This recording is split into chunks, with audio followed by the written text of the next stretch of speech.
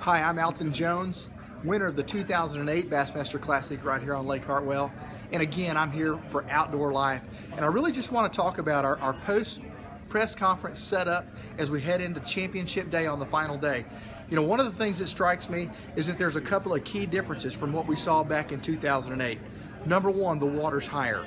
And with the water higher, that means more of the boat docks and more of the cover in shallow water is in the water. So that's why you're seeing more fish coming from the shallow depths, guys like Randy Howell. But then you're seeing the, the opposite thing, you're seeing some guys still catch them out of the deep water. Tomorrow's gonna set up as an epic battle between the shallow and the deep couldn't be set up any better than this if, if, if, you scripted it out.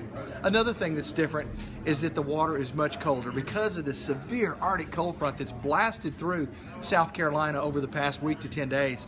And even though tomorrow's forecast is for a warm up, it's not going to warm up enough to make a substantial difference in the water temperature. So that's why the weights are a little bit down. If you look at the weights from 2008 and the weights from now, the weights are a little bit lower.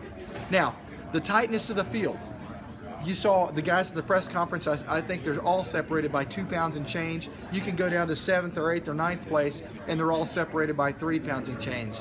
That opens up the gates for really body in that top eight or nine uh, people of the field for one big bite to be an absolute game changer.